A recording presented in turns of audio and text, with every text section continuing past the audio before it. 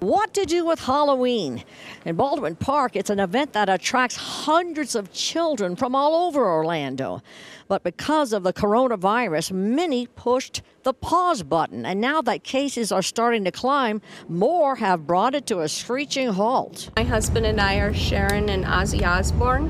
And so they kind of depend on us every year to be Sharon and Ozzy. But Susie Knight says she can't let the kids down. The plan toss candy from their porch. Now, we've heard that some families are going to go so far as to put candy in a basket and lower it down from their second floor in a way to keep the spirit of Halloween alive. Will the kids show? Nobody knows. For those that do, we want to be able to give them plenty of candy. Why?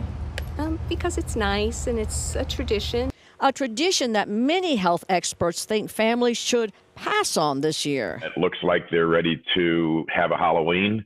And quite frankly, I don't see why not. But Dr. Todd Husty continues to say if everyone wears a mask and is careful, carry on. Go up to the door, step back, you know, ring the doorbell, step back, trick or treat, and get close enough just to get your candy and, and back off. What about um, the candy itself?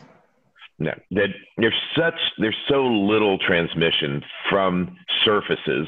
Another holiday that we modify and adjust to celebrate in the age of COVID 19. In Orange County, Michelle Meredith, WESH 2 News. And